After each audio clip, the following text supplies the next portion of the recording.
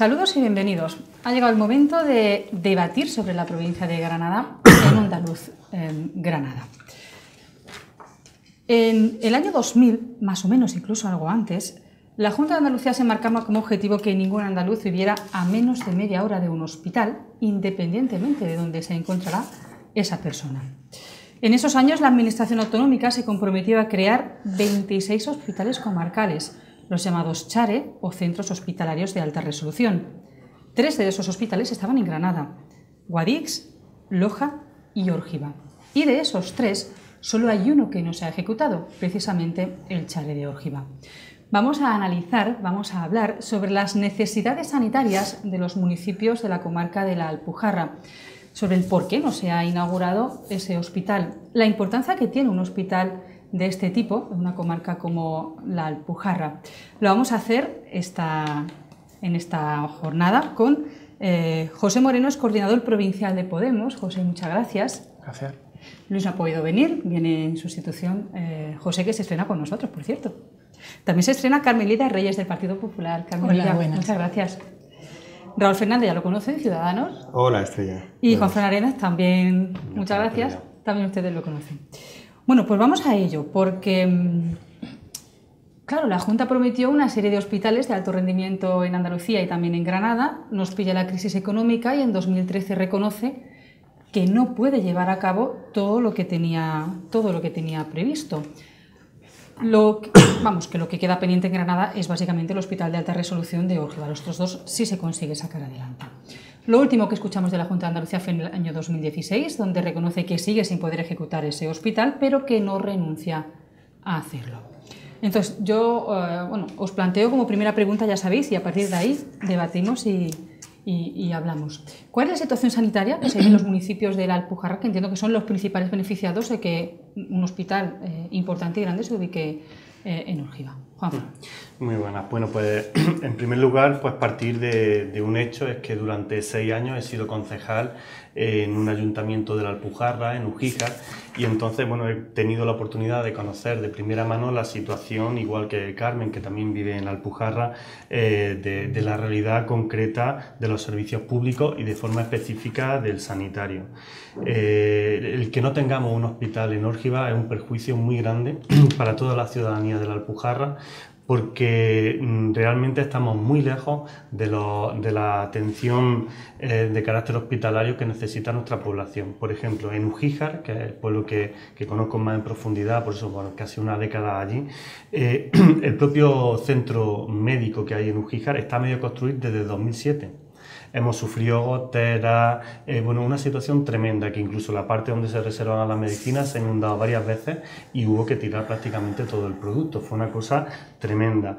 Pero es que la estructura sigue desde 2007 y no se ha completado la estructura. Ese es el caso de, de.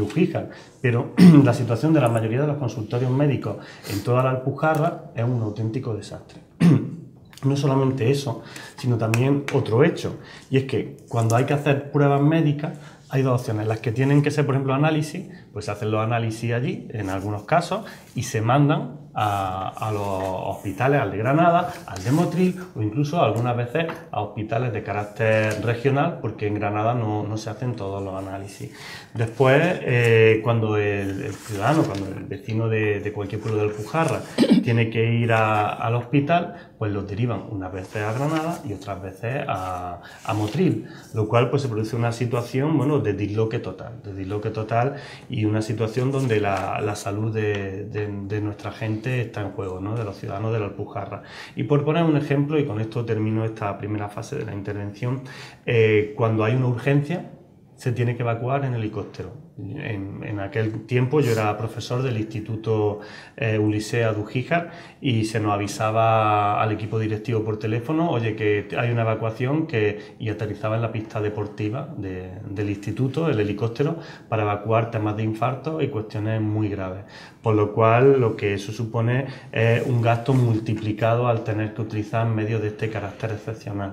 Y si a eso vemos que cualquier desplazamiento de carácter sanitario por la vía de comunicación que tenemos en la Alpujarra, entonces ya para ahí vamos. No, es que Ujíjar eh, se encuentra del hospital más cercano en torno a una hora y media aproximadamente y por unas carreteras que son un auténtico desastre, que después de todas las promesas de la Junta, de las actuaciones que se hicieron, se siguen cayendo y uno va una década después a pasear por el Pujarra y encuentra los mismos baches, los mismos problemas que de hace casi una década. Solo una pregunta enseguida. Eh, ¿Cuántos habitantes tiene el Alpujarra? O sea, ¿cuántos habitantes eh, atendería ese no, 25.000 25, municipios. 25 municipios y unos 25.000 habitantes.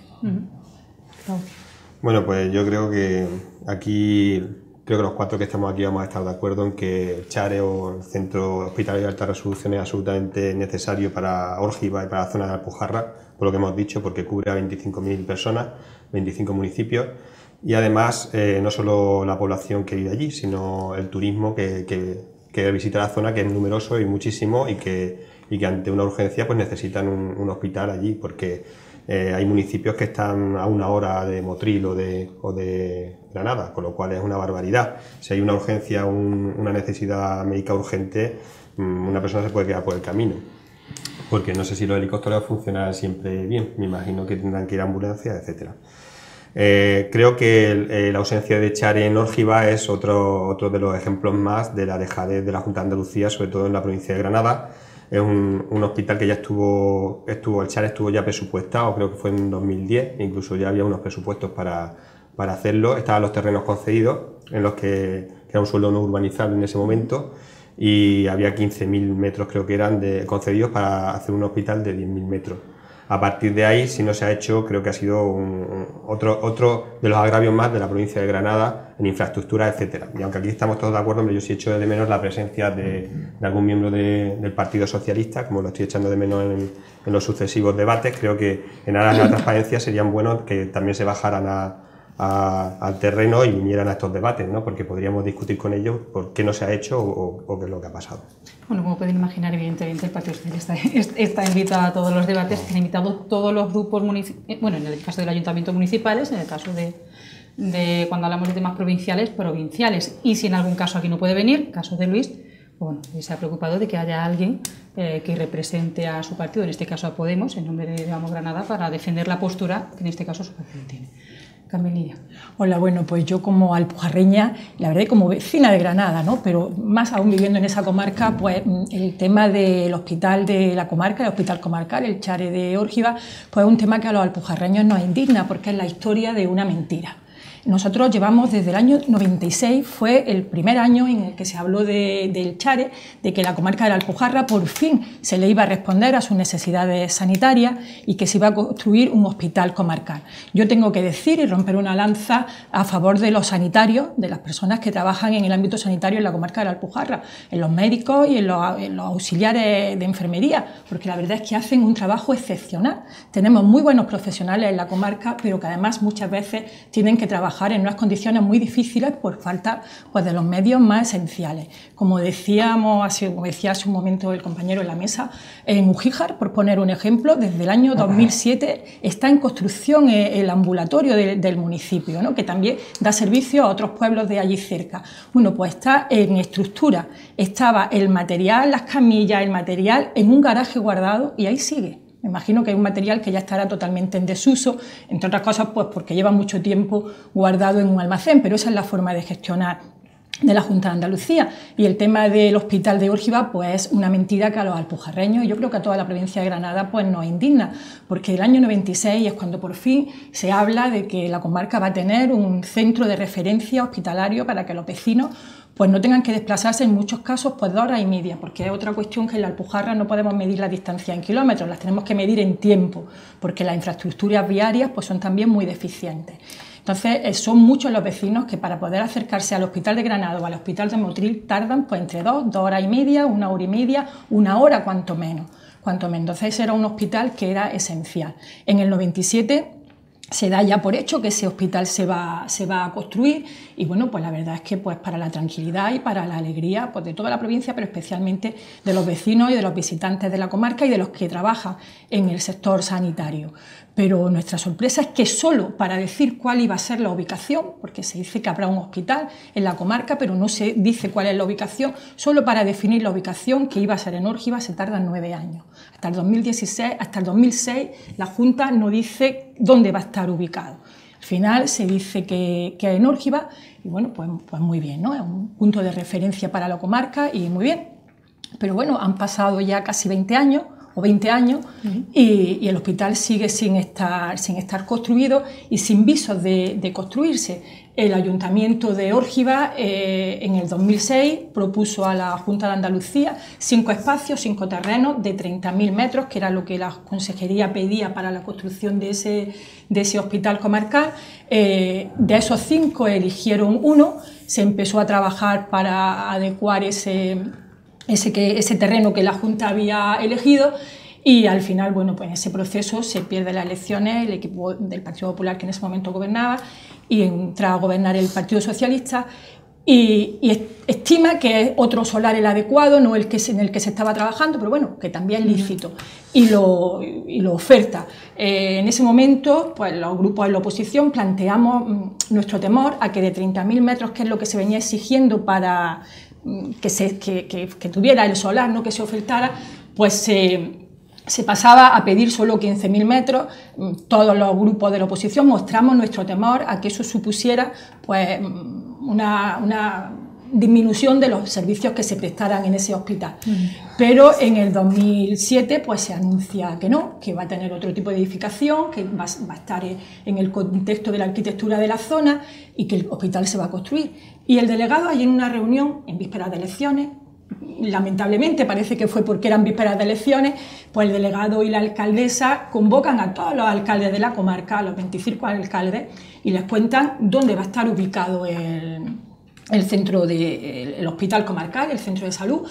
Y, bueno, nos cuentan hasta el color de las habitaciones, que veíamos el hospital, el hospital hecho. Eso es en el, 2000, en el 2007 y estamos en el 2017 y, y, nada. De hecho, el hospital hace una semana, por unanimidad, en Diputación se aprobó una moción instando a la Junta de Andalucía que inste, a la Diputación que inste a la Junta de Andalucía a la construcción de ese hospital. Bueno, se, nota que Carmen la Alpujarra, se conoce perfectamente. Controla, controla bastante el tema. Eh, yo principalmente coincido en el análisis de, los compañeros de IU. Eh, y por no redundar, porque creo que es un tema en el que vamos a estar bastante de acuerdo, ¿no? sobre el tema del Chare, eh, necesitamos, yo creo que hay una necesidad palpante ese hospital ahí. lo que sí mm, me gustaría indicar un poquito más sería eh, primero, como dice el compañero Raúl, la falta de voluntad política por parte del PSOE. Eh, no tenerlo aquí en la mesa ya es un indicador claro de, que no, no, quieren dar la cara.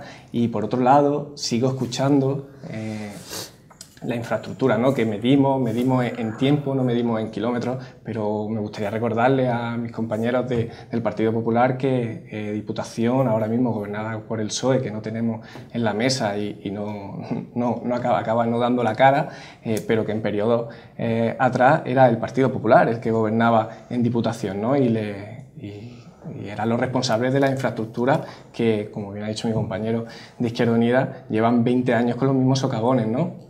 Mm, no me voy a redundar más porque pienso que, es bastante acertado el análisis del compañero y, que la necesidad está ahí y hay una falta de voluntad clara de, la Junta de Andalucía.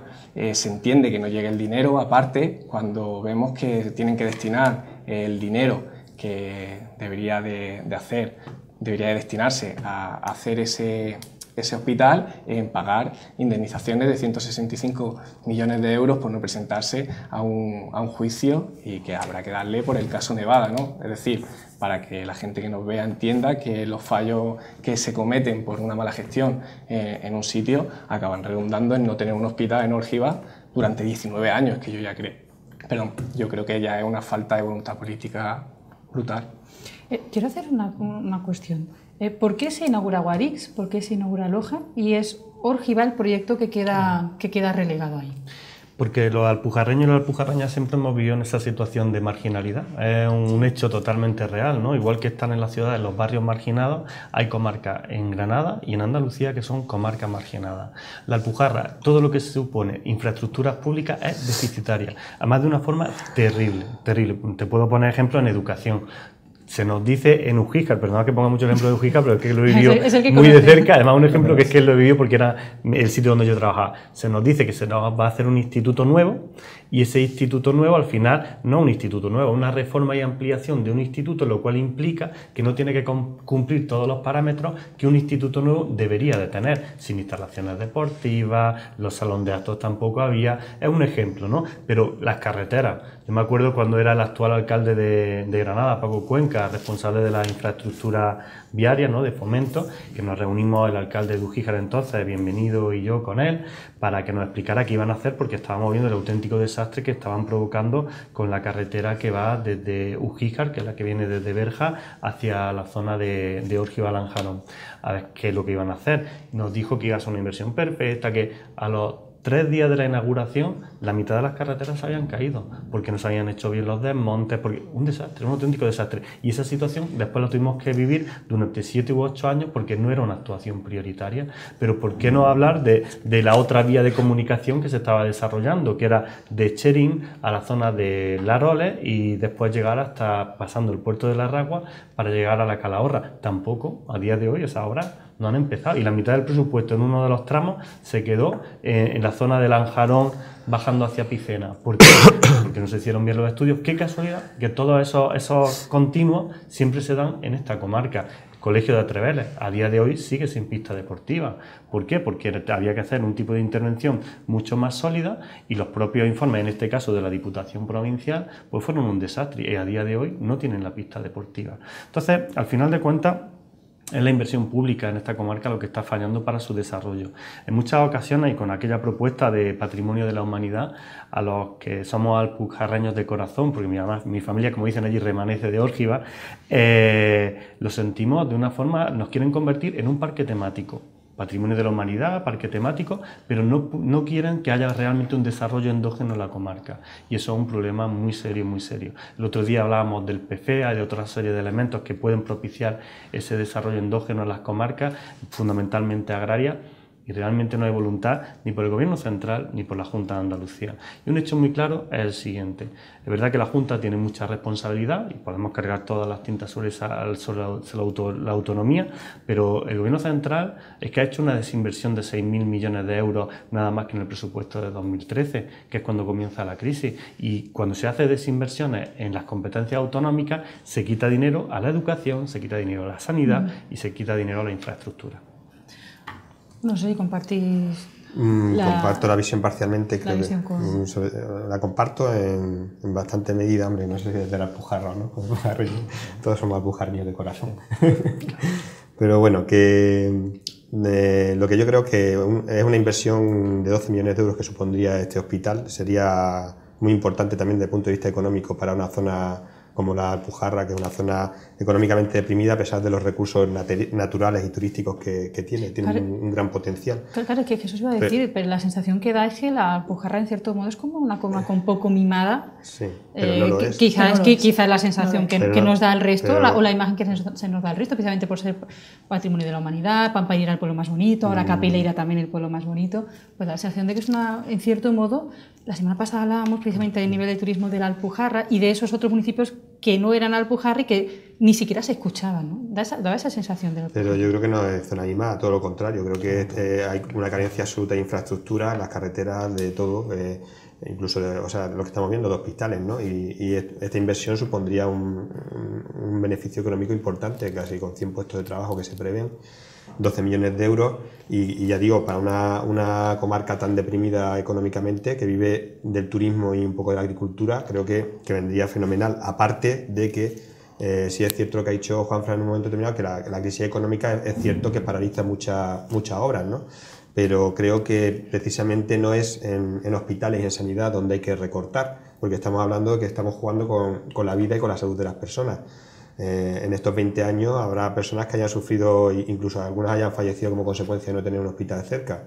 Y creo que mm, si tenemos que recortar, debemos recortar en otras cosas y, por supuesto no en hospitales. ¿no? Y, otra cosa que quería decir que con respecto al sí, que, es que queda poco tiempo y yo quiero plantear. No, no, no, con respecto a la pregunta que ha hecho de, de por qué en Loja y en Guadix, yo creo que en Loja, porque lo viví al principio de, de, esta etapa, en Loja se ha luchado mucho por tener allí un hospital, porque eso hace un año, hasta hace dos años no, o año y medio no había. Fue la presión de los ciudadanos, presión de los grupos políticos cuando nosotros empezamos, lo que, lo que ha conseguido que, se, que al final se abra el hospital de Loja. Me has quitado la pregunta porque la pregunta que ellos iba a hacer, la pregunta que ellos quería hacer era, digo, claro, ¿hasta qué punto los ayuntamientos han, han sabido o han defendido o se han echado a la calle o han presionado para que esto sea así? ¿Que ¿Qué papel han cumplido los ayuntamientos en todo esto? Bueno, mira, yo estoy convencida que la Alpujarra es la gran olvidada de la Junta de Andalucía. Mm, hay que decir que la infraestructura de la Alpujarra prácticamente todas corresponden a, la responsabilidad de la Junta de Andalucía. En estos últimos cuatro años en Diputación, en los que gobernó el Partido Popular, se arregló la carretera de Murtas, la carretera, la carretera de Venta del Chaleco, la de Almejija, que eran de competencia de Diputación. Pero es verdad que ni, ni, en esos cuatro años ni en los anteriores es que la mayoría de las carreteras de la Alpujarra son competencia de la Junta de Andalucía. Y para la Junta de Andalucía está muy claro, los vecinos de la Alpujarra lo tenemos meridianamente claro, que es la gran olvidada. La comarca de la Alpujarra es la gran olvidada para la Junta de Andalucía. En materia sanitaria, en materia de infraestructuras viarias, en colegios, el compañero en la mesa hablaba del colegio de Ujíjar, pero podemos poner muchos ejemplos de colegios en la Alpujarra.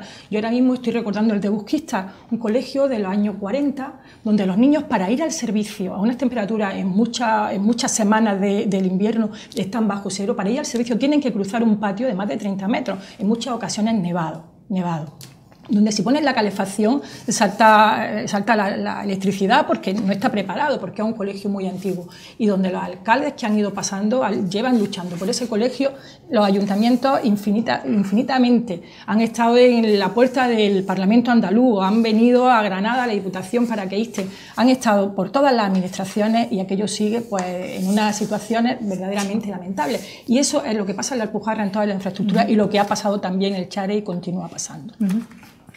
Yo creo que la Alpujarra no está olvidada. Lo que está olvidada son sus ciudadanos, son sus residentes, ¿no? no, no yo veo constantemente vídeos de la Alpujarra, de lo bonita que es, en, todos los vídeos promocionales de la Junta. Lo que realmente está olvidado son sus residentes. No, no, no nos engañemos, no nos, no nos hagamos trampa. Eh, yo creo que o por uno o por otro la casa sin barrer. ¿No? Es decir, competencias de uno, competencias de otro, pero al final los que acaban sufriendo siempre son los residentes de la zona y, y lo vemos en la situación que tenemos. Eh, yo creo que eh, este sistema y, las políticas que, que al final se, se intentan imprimir eh, van tan elaboradas y van eh, tan direccionadas en el tema del turismo que nos olvidamos de que allí hay gente viviendo. Y yo creo que esto hila un poquito, incluso con territorios también deprimidos, como el de La Vega, en el que hoy llevo una camiseta acordándome de los, de los compañeros, que me gustaría decirlo, y, que no casa, que no acaba de casar con las políticas de ese turismo exacerbado y, y que muchos vídeos de la Junta de Andalucía recordando lo bonita que es la, la Alpujarra, pero, pero no tenemos un chare, ¿no? Bueno, vamos a hablar también de turismo en la, segunda, bueno, en cierto modo de turismo en la, segunda parte del, del, programa porque vamos a analizar el, conflicto que ha surgido con la, propuesta de ubicar eh, dos plataformas para la, la cría de, mejillones y el problema que ha habido que al final la Junta de Andalucía se, ha tenido que echar atrás. Pero en, los pocos minutos que, eh, que, nos quedan, la verdad, hemos abierto, hemos abierto mucho. Yo no sé si estáis de acuerdo o no en que, la, en que la, las protestas ciudadanas y de, ayuntamientos que dice Raúl en Loja han conseguido su objetivo. Yo os preguntaba, eh, claro, ¿qué ha ocurrido en la Alpujarra? No ha habido esa presión ciudadana institucional, la ha habido, pero se le ha hecho menos caso. Es que, bueno, me da igual uno lo que... Lo es, es un apunte, un apunte. Además, hilando con, con, lo que comenta, yo creo que no es solo que no haya habido una presión eh, popular, es que creo que la Junta de Andalucía lleva 20 años jugando con la promesa. Es decir, es una manera de apaciguar al final los, ánimos, ¿no? Porque es que llevan 20 años diciendo, 19, 20 años, eh, diciendo que va a haber un hospital, ¿no? Y, en cada... Eh, en cada periodo electoral, en cada cita, eh, los dirigentes del Partido, del partido Socialista vuelven a recordárselo a la ciudadanía, ¿no? Claro, por, claro, por eso os pregunto, una promesa que sigue, sigue, sigue, sigue, hasta que el pueblo dice hasta tal ya, ¿no? De, que se prometan cosas que luego no vienen. Hasta tal punto que se han puesto tres veces la primera piedra del Chare. o sea, que es que es un poco reírse de, los alpujarreños. Yo coincido contigo que no es, no es el territorio, es reírse de las personas que viven allí, ¿no? Se han puesto tres veces, siempre en época electoral, la primera piedra. Y yo antes, retomo, decía que la semana pasada en el Pleno presentamos una moción instando a la Diputación que inste a la Junta de Andalucía a recoger de nuevo los presupuestos, el presupuesto para el Chare, que ahora ya ha desaparecido, y a que nos dé una fecha de inicio. Y la alcaldesa de Órgiva, que ahora es vicepresidenta de la Diputación, nos decía que era oportunismo político porque sabemos que va a comenzar, que va a comenzar la obra en el 2018. Y yo decía, bueno, me felicito si eso es así. Lo que pasa es que lamentablemente creo que es otra mentira más, ¿no? Cuando, cuando empieza a haber un movimiento de los ciudadanos, de los, de los alcaldes de los distintos municipios, bueno, dicen, no, no, no os preocupéis, que es que va a empezar ya, ¿no? Y bueno, pues se confía y cuando llega ese ya, pues volvemos a parar otros dos años y así estamos, porque después de que nos dijeran que era oportunismo, perdóname por la extensión, que era un oportunismo político y que se iba a empezar ya, pues nos acaban de decir en, en, en el municipio donde se va a ubicar el hospital, que los terrenos que se habían cedido para hacer ese hospital, ahora se acaba de remodelar el polideportivo, que había dejado de ser polideportivo para donar los, terrenos. Ahora se han invertido 80.000 euros en volver a hacer vestuarios, pistas de césped, con lo cual nos dicen que va a empezar en el 2018, pero es que ahora ya no hay ni terreno. Entonces, es que esto es una mentira continua, está, este, mm. el Hospital Comarcal de la Alpujarra, que es esencial para los vecinos de la Alpujarra, que es que es necesario y esencial, es una mentira continuada por parte de la Junta de Andalucía.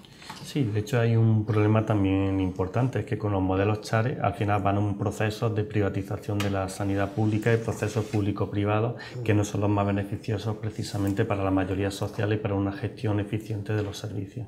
Que eso también es un elemento que hay que tener en cuenta y que los compañeros y compañeras del Partido Popular aceptaron la enmienda que en aquel momento Izquierda Unida presentó para que la gestión de, de ese hospital, de ese CHARE, sea pública.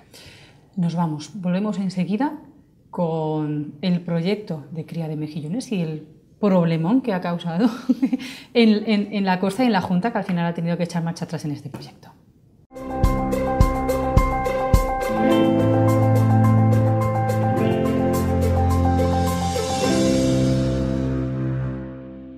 Bueno, pues aquí estamos, seguimos con el debate, cambiamos radicalmente de, asunto. Yo quiero recuperar algo eh, que había dicho Juan Fran en, en, la, primera parte del, debate, que decía, a ver, si estamos hablando de Alpujarra, eh, Alpujarra Patrimonio de la Humanidad, parece que todo está destinado al turismo, pero se olvidan de los ciudadanos. Y el turismo es en cierto modo, parte eh, responsable de lo que ha ocurrido en la costa con un proyecto que se había presentado hace algunos años de ubicar eh, varias plataformas de la cría de mejillones, varias mejilloneras en, dos zonas de, la costa, ¿no? en, la punta de la, de la, Mona y en Peñones, Peñones del Santo. Desde primera hora, este proyecto suscitaba pues, las críticas de los ayuntamientos y los municipios, eh, básicamente porque dicen dos cosas. Una, eh, va a afectar negativamente al turismo. De hecho, se presentaba un informe donde se cuantificaba, creo que eran en, no sé cuántos miles de puestos de trabajo, de dinero que se iba a perder y cuántos puestos de trabajo que se iba a perder. Eh, dos decían, si ponemos esas mejilloneras en zonas de alto valor ecológico, como, puede ser la punta de, eh, la, punta de la Mona, pues claro, es una barrera para los barcos que navegan por allí y para la gente que hace buceo y eso puede generar que las escuelas de buceo traigan menos gente y por lo tanto perdamos, perdamos turistas. Básicamente, la base eh, prácticamente sobre la que se ha basado para eh, rechazar este proyecto ha sido un poco el turismo. Y yo os planteo, y enseguida entramos pues, con todo lo que pueda dar, esto de sí, ¿no? Em, siempre estamos diciendo que la provincia de Granada no tiene industria o no basamos demasiado en el turismo, es un proyecto diferente que podría hasta qué punto ah, desarrollar la, zona de la costa. Em, ¿Dónde establecemos esa, esa balanza? En primer lugar, ¿estáis de acuerdo o en contra? Nosotros estábamos en contra de, la ubicación de las mejilloneras, pero por un hecho objetivo ahí, ¿qué, elemento es el, definitorio? En la economía de Almuñécar hay un elemento que es claramente el que sustenta una parte muy clara de, la economía de, ese ámbito comarcal, ¿no? que es el turismo Y entonces, si tú lo que es la base sobre la que se sustenta el desarrollo de esa localidad le puedes perjudicar con otro tipo de actividad económica que no se sabe o que no hay un estudio muy claro de qué rentabilidad y qué impacto económico puede tener ni qué generación de empleo, está claro que sería pues matar moscas a cañonazos en el sentido de decir, vamos a hacer un experimento y a ver qué pasa, sin tener en cuenta todos los perjuicios que ya se avisaban que podían tener la instalación de esas mejilloneras. Eh, hay un montón de informes del propio ayuntamiento Izquierda Unida también presenta alegaciones con un trabajo excelente de la Asamblea de, de, Almuñécar sobre el tema de la ubicación, porque a lo mejor el problema no son en sí las mejilloneras, tal y como se plantea por parte de nuestro grupo político, sino el sitio donde se quieren ubicar, el impacto visual, que además está en una zona protegida, que es lugar de interés comunitario, el impacto visual que es muy importante, los daños eh, económicos a otras actividades, como tú comentabas, el tema del buceo. Y después hay toda una serie de elementos que en, la actividad productiva y de explotación de esas mejilloneras influyen sobre el medio ambiente, sobre la calidad del agua. Entonces, teniendo todos esos elementos en cuenta, sería un poco absurdo empeñarse en instalarla en ese espacio concreto. Creo que la costa granadina es muy amplia y se podría buscar cualquier otra ubicación para la misma sin que tuviera un impacto negativo sobre el turismo, que es el primer motor económico de, la costa granadina y del Muñacar en concreto. ¿Tenéis datos? Sí, porque bueno, hay, hay algunas, yo creo, en la zona, en la zona de, en la zona de, de Salobreña, llevan, llevan, bastante, bastante tiempo. Mm. No sé, ¿hay, datos de si realmente ha habido algún tipo de, de perjuicio o el problema sería poner más o poner masivamente. Porque verá que hay una, cualquiera va a la costa y ve que lleva mucho tiempo. Mucho tiempo el, problema es que el problema no está en sí en, en la mejilonera, en la batea en sí, al revés. Yo creo que eh, en la batea favorecen otra actividad empresarial distinta a la turística y puede abrir nuevas oportunidades. De hecho, creo que la, la batea de, de Salonía está dando 40 puestos de trabajo, eh, son, me parece, 200.000 kilos los que recoge y, y, creo que es un un recurso de riqueza. ¿no? Lo que ocurre es que nosotros estoy eh, plenamente y sin que sirva de precedente de acuerdo con Juan Francisco, aunque debato mucho con él habitualmente en Diputación, y en algunas cosas sí coincidimos. En otras no tanto, ¿no? como la gestión privada, pública, etc. Pero en esto sí. Y yo estoy de acuerdo en que lo que nosotros no estamos de acuerdo es dónde se iban a ubicar. En principio esto fue una concesión que yo creo que estuvo mal dada sin, sin haber hecho informes, los informes pertinentes, porque aunque las mejilloneras en sí pueden traer una actividad productiva, si las pones en un determinado sitio, como era, el, eh, era la punta de la mona, pues sí puede perjudicar gravemente al turismo, porque puede perjudicar la calidad del agua, de los bañistas, etcétera por otra parte, también supone un impacto ambiental, puesto que hay zonas ahí que, están protegidas medioambientalmente por Europa, con lo cual eso también habría que estudiarlo. Y eh, por otra parte, eh, también podría incluso perjudicar a lo que es el fondo de barcos de Marina del Este, eh, podría causarle un, importante perjuicio.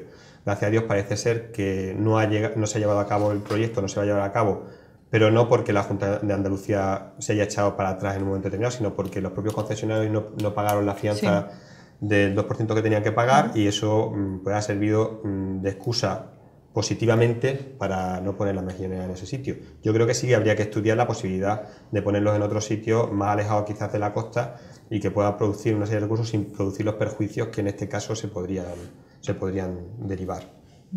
Sí, yo estoy convencida de que fue una, una decisión equivocada. Mm. Eh, no era el sitio, el espacio. Eh, tenemos que recordar que una de las escuelas submarinas más, de submarinismo más importantes de Europa está en la Herradura, y está en la Herradura porque en ese espacio de la Punta de la Mona y esas proximidades eh, la riqueza submarina es enorme. Entonces, bueno, esta instalación pues corría con esta instalación se corría un riesgo muy importante de dañar esa, esa zona y esa fauna ya existente en ese suelo submarino que, está alrededor de Almuñacas, porque además tenemos que, tener en cuenta que eran 45.000 metros cuadrados, o sea, era una, una, extensión enorme. ¿no? Entonces yo creo que, que mm, la Junta de Andalucía fue un poco de ligera sin haber estudiado en profundidad dónde estaba dando los permisos para esa ubicación, porque nosotros desde luego es una actividad más que produce, genera empleo, pues bienvenida sea siempre que sea en unos terrenos adecuados que desde luego estos pues a todas luces no lo eran. ¿Y nos parece que a lo mejor se ha perdido una oportunidad de que ya no se coloque ahí, pero ya no se coloque en ningún sitio, perdiendo la oportunidad de un desarrollo económico más, especialmente para la zona de la costa? nosotros sacamos una cosa bastante clara, ¿no? además en el debate se, se puede entrever, y es que el gobierno de Susana Díaz no está y como no está, improvisa. Y como improvisa, ahora pongo aquí, lo pongo allá. No, pero este proyecto es de hace muchos años. No atiende, pero sigue improvisando. Sigue improvisando. Lo que sí tenemos claro es que mm, los proyectos no se pueden acabar de medir eh, según el desarrollo de otros espacios como es la burbuja turística. Hablamos mucho de la burbuja turística, pero debemos de recordar que la burbuja turística eh, genera un empleo bastante estacional y precario. Es decir, que, y en eso estoy de acuerdo con, mis compañeros, que mm, cualquier eh, nuevo espacio que permita desarrollo, como bien iniciabas tú con el tema de, algún tipo de industria o manufactura o de valor añadido, debe estar mm, bien estudiado. ¿no? Yo entendemos que no era el mejor espacio en el que se podía poner, pero claro, es que esto confronta directamente con los intereses de, de otros partidos políticos de seguir alimentando esa burbuja turística desmesurada que, no atiende a nada más, ¿no? El, turismo, como ya he indicado antes, eh, y en, en, estos espacios es bastante estacional, porque solo viven en verano y, y muy precario, ¿no? Entonces pensamos que no es el mejor espacio tampoco y que debería de estar sujeto a unos informes. De todas maneras, el mejillón, he podido hablar con los compañeros eh, de ecologistas y, de nuestra propia área de medio ambiente y no es una especie, un filtrador, no, no una especie, una especie que, mm, que perjudique realmente la agua. Perjudica más quizás eh, y molesta a, otra mucha gente, eh, sobre todo el turismo de alto poder adquisitivo de ver una, unas bateas ahí en el límite del horizonte que, que realmente el perjuicio que puede generar a la agua. Es un agente filtrador. No, pero hay otras opciones, porque bueno, leyendo yo los asuntos, hay otras opciones, aparte de batear, poner cuerdas verticales donde lo único que se vería sea la boya, con lo que el impacto visual se, vamos, se, podría, se podría reducir. Eh, yo os quiero plantear unas declaraciones que hizo Ignacio López Cabrera, que es el patrón mayor de la Cofradía de Pescadores de Motril, que era uno de los que había impulsado uno de los proyectos, y decía Ignacio, eh, es que siempre que alguien va a poner una industria de algo en Granada, sale alguien y dice que no, dice, y así nos va.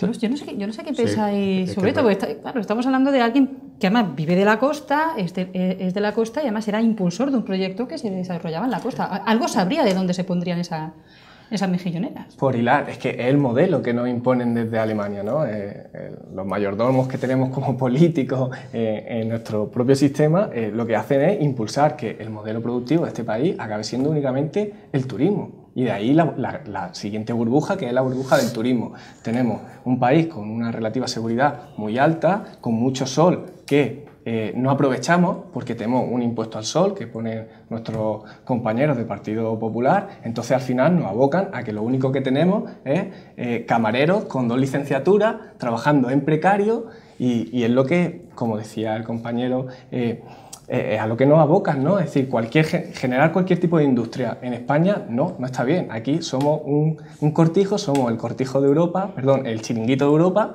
el cortijo de otro, el chiringuito de Europa, y debe seguir siendo así. Entonces, cualquier medida, aunque en este caso no, creo que no era acertado el, el espacio, pero cualquier intentar desarrollar industria se ve con malos ojos. Nosotros somos un chiringuito estupendo y algunos andan por esos derroteros. Yo no puedo estar, yo no. yo creo que no, puedo estar de acuerdo tampoco. Que queráis, vamos, eh, si queréis, Raúl. Es por lo menos genero debate. No puedo estar de acuerdo con, con, el análisis simplista que ha hecho del turismo en España, porque la industria del turismo mueve muchísimos puestos de trabajo, muchísimo dinero. Precario. muchísimo dinero y no tiene por qué ser precario. Al muñeca, si le quitas el turismo y la agricultura, la mata. O sea, al muñeca vive básicamente del turismo, no solo de los, los 3-4 meses de verano, sino también de fines de semana, Semana Santa y de, y de, muchos extranjeros que han venido a esta zona con sus buenas pensiones y, que, vivimos, y, vivimos, y vivimos en gran parte. Es que hay una industria que es la industria del turismo. Otra cosa es que yo también estoy de acuerdo, no, no solo no, es que yo estoy de acuerdo en que este proyecto empresarial se, se, debería llevar a cabo, pero es que el error no es llevar a cabo el, el proyecto empresarial, que estoy de acuerdo contigo con que eh, ecológicamente, incluso el depurador, etcétera, la millonera. No tiene, no tiene por qué suponer un impacto ecológico si se pone en los sitios adecuados. Ahora, si se pone en zonas especialmente protegidas de eh, medio ambiente, se pone en zonas turísticas muy pegadas a la costa, pues claro que perjudica. Entonces, es que hay que buscar otros sitios, que hay espacio en la costa granadina como para poner mejilloneras, bateas de mejillones, que además son muy productivas y que creo que pueden crear empleo y pueden ser buenas para la costa. Pero eso no quita que no podemos hacer un análisis del turismo porque nos cargamos eh, una, buena, una buena parte de los recursos de nuestra costa y de nuestro, y de nuestro, y de nuestro país en definitiva. O sea, no... yo creo que... no, yo creo que, hablar de que el Partido Popular solo atiende a la burbuja que supone el turismo es hacer un análisis muy simplista de este problema. Mm, yo estoy convencida de que Almuñécar, su equipo de gobierno, tiene que cuidar el turismo en Almuñécar, porque es que es una de las fuentes de riqueza más importantes del municipio junto con la agricultura y también la pesca. Pero yo diría que el turismo es de las más importantes en nuestra costa. Entonces es muy lógico que el Partido Popular o cualquiera que quiera respaldar a sus vecinos cuide ese sector que es el sector turístico. Pero eso yo he dicho desde el principio, en ningún momento hemos estado en contra de que en las mejilloneras se instalen y sean otra empresa más que cree empleo y que cree riqueza. Pero yo lo que creo es que mm, se ha hecho en el sitio equivocado, no solo por cuidar el sector turístico, sino también por el medio ambiente. ¿no? Mm, el espacio de, costa de la provincia de Granada es muy grande y justo pues, se han pensado en instalarla en un espacio que está protegido y que tiene un valor eh, los ecosistemas que allí existen y un valor, el, espacio submarino que hay en torno a la punta de la moneda, pues que es muy importante, que yo creo que debemos de proteger todo y que debemos de cuidar y que yo creo que eso es lo que se ha hecho, ¿no? Se ha hecho. El Ayuntamiento de Almuñaca presentó dos informes a la Junta, a la delegación, que lo trajo además acompañado del resto de grupos políticos con representación en el Ayuntamiento de Almuñaca y también del tejido asociativo, porque aquí ha sido el tejido asociativo de, de Almuñaca y, la población la que primero se ha movido y los políticos pues, bueno, han respaldado, la alcaldesa Trinidad yo creo que ha sabido muy bien pues, respaldar a sus vecinos en esa idea, evidentemente protegiendo al turismo de Almuñaca como sector prioritario en la población, pero también al espacio natural que supone pues, el espacio submarino que hay en la punta de la Mona. ¿no? Entonces, mm, mm, estamos de acuerdo en que se generen otros otro empleos que no sean solo en el sector turístico, pero desde luego en un sitio adecuado, que yo creo que ha sido el error, ¿no? el, el querer imponerla, implantarla en un sitio que no era la adecuada. Juanfra, porque también os pregunto, yo supongo que esto tendría sus informes medioambientales o sus permisos ambientales, vamos. No, Alguien se le pasa un papel. No, no entiendo yo que esto se vaya a hacer sin un informe que diga, oye, mira, ahí se puede.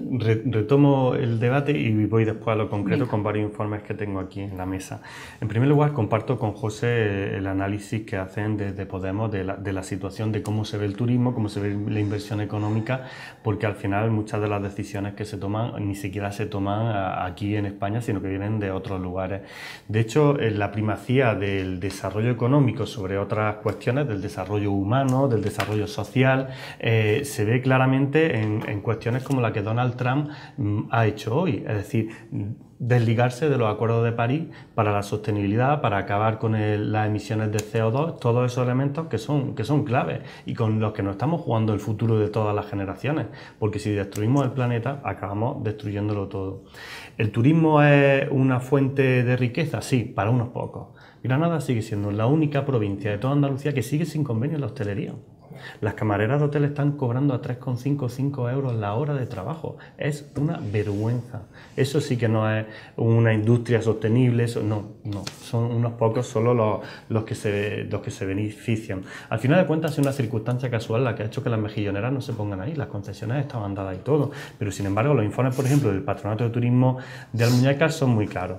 Impacto visual severo. Lo que comentaba antes Raúl, el tema de la bocana del puerto de Marina del Este, las dificultades para la práctica de deportes acuáticos, eh, toda la contaminación que supone los semilleros y la obtención de las semillas para el tema de los mejillones, la limpieza de, las propias instalaciones que ya, suponen una importante generación de residuos cuando se recolectan, cuando en fin, toda una serie. El proceso de engorde, que lleva a una contaminación de carácter biológico de la agua y que va a modificar todo el ecosistema de toda esa zona en una zona que, como muy bien hemos dicho antes, es una zona protegida de forma medioambiental. ¿Qué, implica? turbidez del agua, vertido de residuos biológicos, generación de, residuos en el laboratorio. Esto es un informe del Patronato de, Turismo de Almuñécar. Hay otro informe del Ayuntamiento de Almuñécar. Pero claro, al final de cuentas, las entidades competentes son otras y son otras las que toman las decisiones por encima de un elemento fundamental que, es la autonomía de los municipios en su propio desarrollo. ¿no? Y muchas ocasiones, ocasiones se imponen eh, criterios que, van en contra de lo que los propios vecinos y vecinas y sus representantes en, el municipio, que es el ayuntamiento, toman. Nosotros no creemos que, es que le pongamos pega a todos los temas de desarrollo, nadie. ¿no? Hay un acuerdo importante de todos los grupos políticos en el acelerador de partículas. Ahora bien, si se empeñan en ponerlo en el veleta, no habrá acuerdo. ¿Por qué? Porque no vamos a destrozar algo único para Otras cosas que hay un montón de espacios, ¿no? Eso lo dijo Carlos V con el tema de la mezquita. En la mezquita de Córdoba hicieron dentro una catedral gótica de las que hay montones y dijeron, han destrozado algo único para hacer algo de lo que hay mucho. Pues no nos carguemos el entorno medioambiental de la punta de la mona para poner una mejillera que se pone poner en cualquier otro sitio. Yo en parte del análisis coincido, en otro no. O sea, yo creo que, eh, por un lado, no podemos sacar el populismo de, hombre, es que el convenio estrella debe aprobarse, pero eso es que es independiente, independientemente de lo que está pasando y de, la industria que supone el turismo para España. Otra cosa es que en la provincia de Granada pues no haya funcionado bien la cosa y haya, que, forzar a que, a que funcione o, tiene que ponerse de acuerdo una vez para sacar un convenio colectivo de la hostelería, porque si es verdad, estoy de acuerdo con él en que eso es, es un perjuicio absoluto para todos. ¿no? Creo que el convenio es fundamental, pero eso es una cosa. Donald Trump a mí me cae bastante regular, o sea, no, no es santo de mi devoción, pero eh, la culpa de que las mejillerías hayan ido a un sitio concreto y negativo, pues no es ni de Donald Trump ni de, ni de Angela Merkel, es de que la Junta de Andalucía se ha equivocado y cometió un error a la hora de, de, otorgar las concesiones en un sitio donde no debía de otorgarlas. A partir de ahí ha rectificado, gracias a que se le ha dado la oportunidad, porque no se ha aportado la fianza y no hay más. Mm, o sea, de, de ahí sacar el debate, pues podemos hablar también de si Venezuela tiene la culpa de cómo le va a Podemos a Izquierda Unida, ¿no? Pero que creo que no es lo suyo. Que creo que gusta debatir de fuera de España y sí, sí.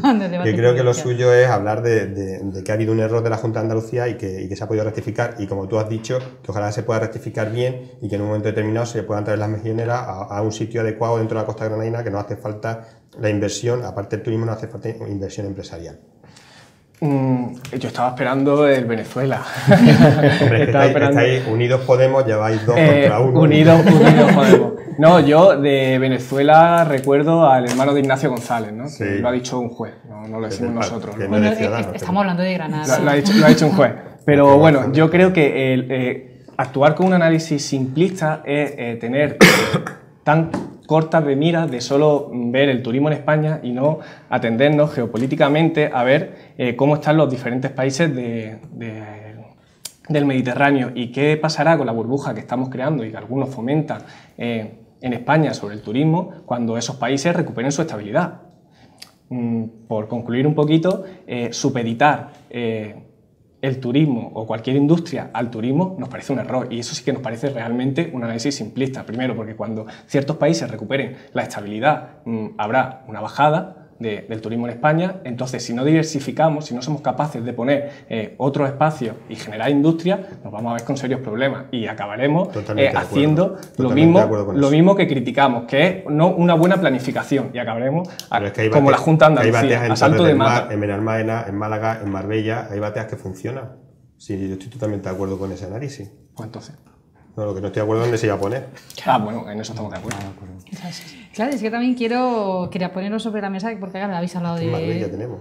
Habéis hablado de que, claro, es que el, turismo es muy importante para la comarca de la costa y además es así, pero también es cierto que cada mes, cuando salen los datos del paro y analizamos cuál es la situación de Granada, Granada siempre está en el, en el vagón de cola, es que Granada no tal, ¿y qué necesita Granada para poder salir del sitio donde está?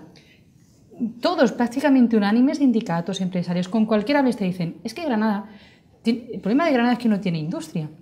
Es que el problema de Granada es que depende excesivamente de un turismo eh, que también creo que todos están de acuerdo en que no sé si ha llegado al tope, no sé si Granada está en su tope de, en cuanto a turistas, pero todos están de acuerdo en que es algo que antes o después es verdad que se va a suavizar o, va a caer. Y Granada necesitaba pues otra base.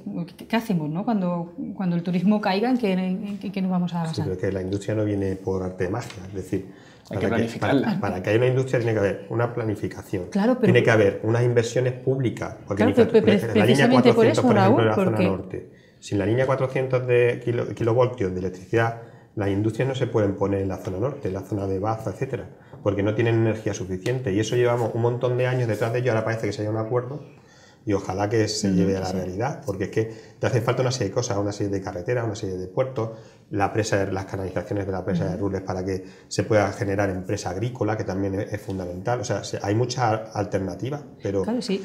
A eso es lo que yo os planteaba, es que mm, cualquier proyecto que queramos poner sobre la mesa son años de preparación, de gestión, de presentar un plan, alegaciones, o sea que eh, pues quizá no podemos esperar a que llegue el toro para que digamos ahora, ahora qué hacemos. Yo te, voy a, poner un ejemplo del desastre absoluto que, que, vive nuestra provincia, pero mira, no, no está mal tener en cuenta siempre el papel que tiene Andalucía y dentro de Andalucía Granada en la economía global. Es que por eso hay a veces que hablar de Donald Trump y de cómo funciona este sistema. España es un país periférico del capitalismo europeo y a su vez Andalucía es la periferia del capitalismo español. Con todo eso que nos quedamos, porque somos el vagón de cola, y Granada, porque como es la periferia de Andalucía, porque al final de cuentas se prima la Andalucía occidental sobre la oriental, pues esa es nuestra realidad. El ejemplo concreto que te iba a poner de, cómo piensan en, nuestra tierra.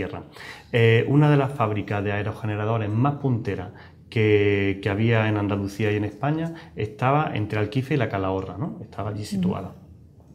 Eh, ni uno solo de los aerogeneradores que están en los llanos de la Calahorra se hicieron allí venían de otras empresas, con ya sabéis que cada vez que hay que transportar una hélice, policía, camión, una cosa, esa era. Es un espectáculo. Y, tenían la empresa allí, allí situada. La Junta de Andalucía determina que al final donde se van a hacer los aerogeneradores, donde se va a hacer la mayor inversión pública es en la zona de Cádiz, toda la zona del tema de tarifas, donde se van a establecer las industrias, por lo cual deja de apoyar a la industria granadina y la industria granadina se acabó hundiendo, perdiéndose los puestos de trabajo y perdiendo una posibilidad, pues como hablamos en el comercio, comercio de cercanía y los productos de cercanía, que es que teníamos la empresa allí y que en los llanos de la Calahorra pues puede haber 200, 300 aerogeneradores y ahora que se están desarrollando mucho por toda la provincia, ¿no? Por poner un ejemplo concreto pero es que Granada tiene el tema de la, agricultura, que tenemos una riqueza en nuestro medio natural alucinante, pero no somos capaces de conseguir el valor añadido de la agricultura. No hay empresas de transformación agraria. En Baza hay, por ejemplo, un,